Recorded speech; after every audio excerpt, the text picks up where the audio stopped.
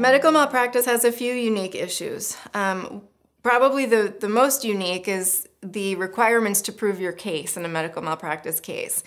For example, if in a car accident case, everyone with a driver's license knows that if a light is red and you drive through the intersection that you have fault for that. In a medical malpractice case, it nothing is that clear. Um, so the first hurdle in a medical malpractice case is proving what did the doctor, physician, nurse practitioner, what did that healthcare professional, what was the standard for them? What's the standard of care required by that healthcare professional? The second part is to figure out did they breach that? Did they violate the standard of care? Did they breach their duties?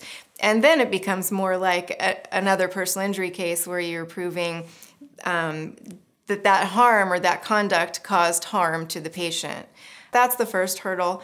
The second is obviously to prove healthcare uh, standards of care and what's required of a healthcare provider.